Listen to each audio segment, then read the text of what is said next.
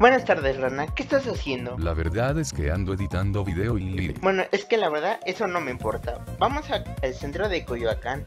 En el metro Coyoacán, obviamente. A ver, pendejo, ¿qué piensa que el trolebús elevado es funcional? Coyoacán no está en el centro de Coyoacán. ¿Cómo que el metro Coyoacán no está en Coyoacán? No mames.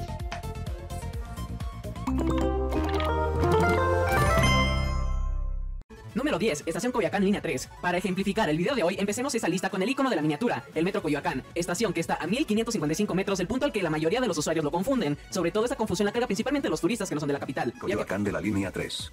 El nombre de esta estación se debe a que originalmente se iba a llamar Centro Bancomer. Esta es una pequeña historia. La estación estaba contemplada a ser llamada como Centro Vancomer debido a que afuera de la misma se ubicaba este importante espacio financiero. Sin embargo, el manual de identidad del sistema de transporte colectivo indica que ninguna estación debe llevar algún nombre comercial como esta estación fue nombrada. Días antes de su apertura, esta cambió de manera sorpresiva por el nombre con el cual conocemos esta estación hasta hoy en día. Eh, gobierno de la Ciudad de México.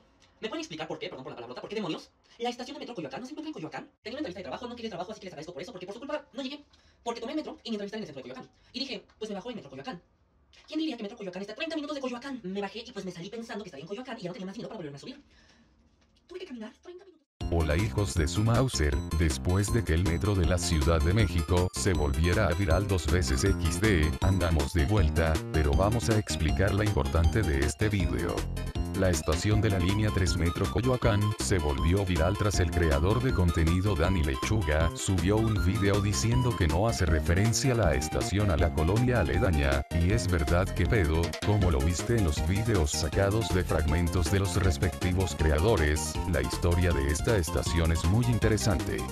Se creó el 30 de agosto de 1983. Su nombre original fue Centro Bancomer ya que quedaba aledaño al edificio antes mencionado, pero por reglas de del Manual de Identidad del Metro de la Ciudad de México en esos tiempos, no se podía poner el nombre de una marca en una estación, a lo cual se propuso poner Coyoacán, dando referencia a la avenida de dicho nombre. La mayoría votan por cambiar de nombre a esta estación, porque se confunde las personas que van para el centro de Coyoacán, muchas propuestas a la estación fue Metro Chocoya que queda un pueblito cercano a la estación, queda a 3, 4 Metro Coyoacán al centro de la alcaldía de dicho nombre, por lo que es muy XD que se confunden de nombre.